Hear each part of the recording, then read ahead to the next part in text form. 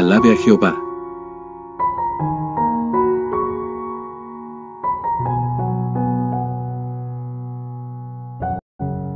¿Cómo podemos todos los miembros de la congregación adorar a Jehová?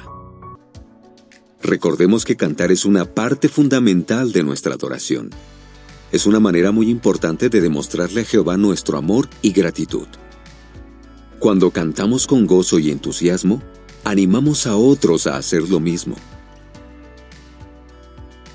El texto de hoy está tomado de Salmo 22, versículo 22 que dice, te alabaré en medio de la congregación.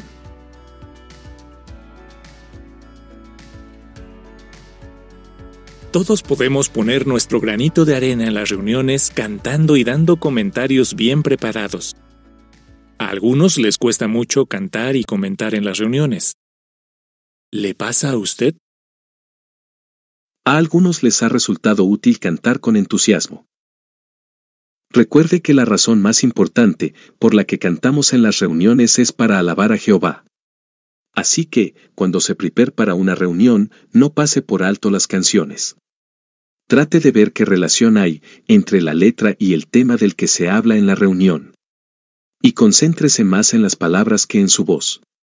A otros hermanos les resulta muy difícil comentar. ¿Qué puede hacer si a usted también le cuesta? Esfuércese por comentar con regularidad. Recuerde que está bien si sus respuestas van al grano, y son breves y sencillas. Jehová valora de corazón los esfuerzos que hacemos para alabarlo en las reuniones.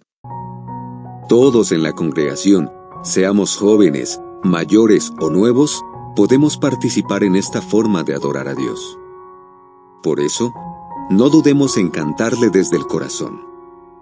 Obedezcamos este claro mandato. Canten a Jehová Cantemos con gozo a Jehová. Salmo 96, 1.